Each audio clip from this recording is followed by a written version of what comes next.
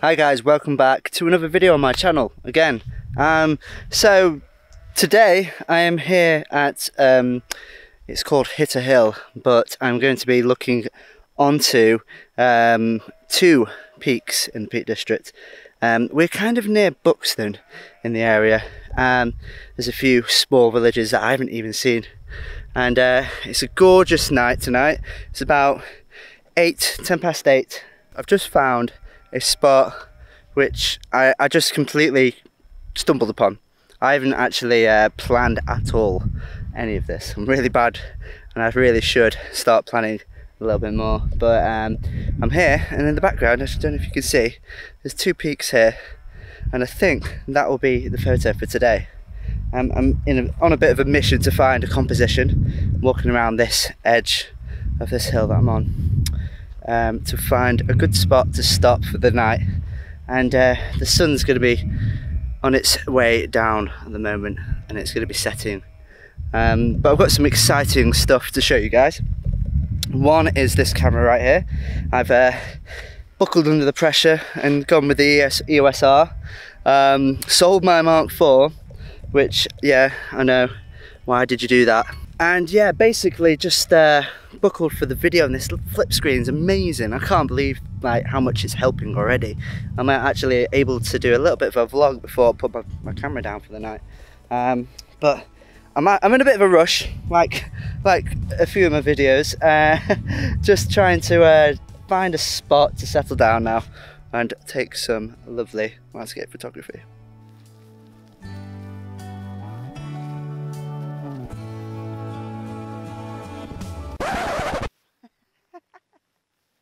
There's me trying to get a nice bit of b-roll. I dropped my bag right at the end. what an idiot.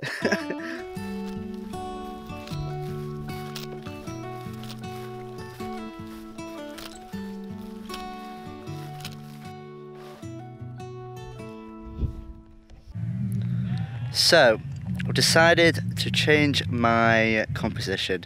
I was sat where them two peaks were and I had a little wonder you know curiosity got me a little bit um, and I just dipped over to the right hand side and saw that the uh, the um, I think it's Parkhouse Hill which was right in front of us. I didn't see because it was round the corner. Uh, so I saw that and needed to get it in the shot. Now as you can see in the distance it'll be overexposed at the moment but that is the sunset and I really need to take it. But whilst that is happening um, I just want to run you through what's the composition at the moment. So I managed to find these little flowers here. These little flowers here are gorgeous. Don't know what they are. In the comments below, tell me what they are. They look like little, um, they're not bluebells, but they look like them. What I'm going to do is get the tripod really close to these flowers and then tilt the the camera forward so I can grab the uh, the hills. And they um what what happens when you do that it stretches the hills to be a little bit larger than what they are. Now they are big but I want them a little bit bigger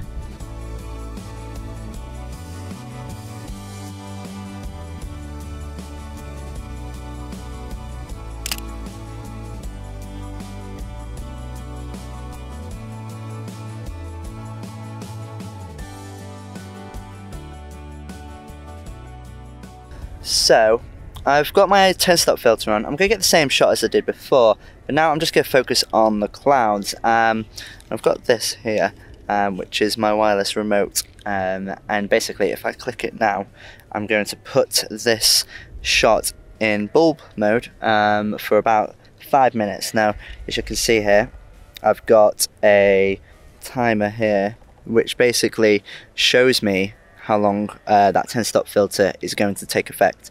So I've got here 5 minutes and 7 seconds and also my battery is about to die so I'm going to get that done very quickly and all I need to do is do this and I'm done. I've been waiting here for the whole of the 5 minutes and that is my timer to tell me to take this photograph finally so I'm just about to have that photo in my camera. And it's come out absolutely fantastic. I'll throw the photo in here so you can see.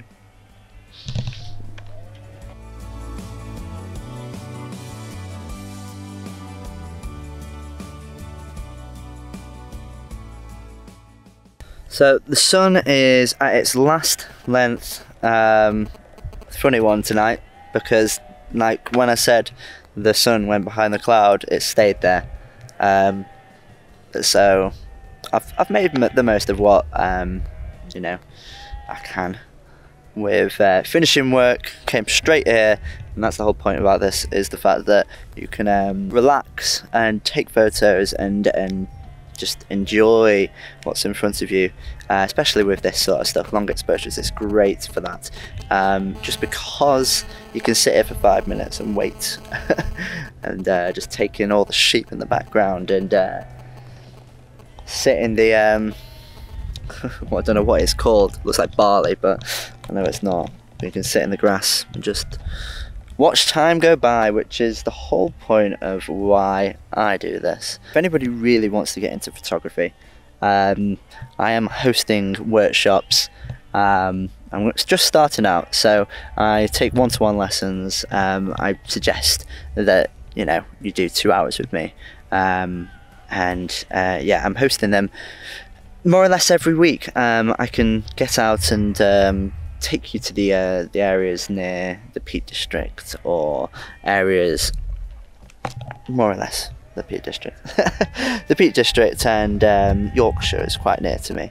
Um, and North Wales. So, if anybody's interested in workshops, please comment below because um, you know I'm making a living doing photography, and um, it'll help me out tremendously. Um, and so that's it for today, really. Uh, I'm taking this last photo, last five minute exposure, and um, I'm going to see what comes out of it. I've just changed from portrait to landscape, so I'm going to get another perspective of this shot. So I think that's it for now. Um, I'm just sat here waiting for this last long exposure to finish, but you guys have probably already seen that. Um, uh, it's been such a lovely night. I'm so glad I do landscape photography and I really suggest I'm gonna go. If you've got a camera, go and pick it up and um, try and have a look at the countryside in a different perspective. Um, but that's it for today. I hope you uh, enjoyed the video and I'll see you again.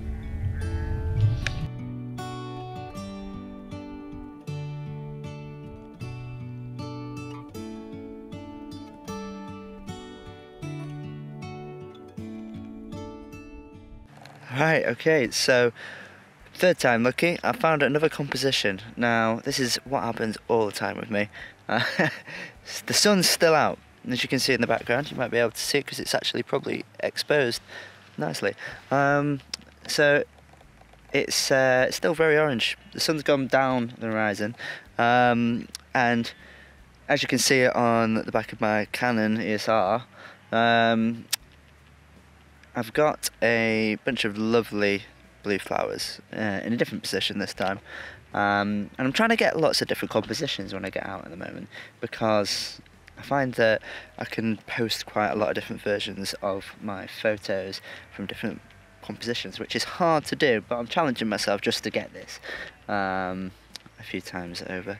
Um, but I'm just going to throw this one in here as a little sneaky photo if you guys have stayed uh, up until the end because uh, I think this one's probably the best one. But uh, other than that, I'm going to clock out again. Um, hope you enjoyed it. Please like and subscribe and comment in the comment description thingy bit below. Alright, Brill. I'll see you next time.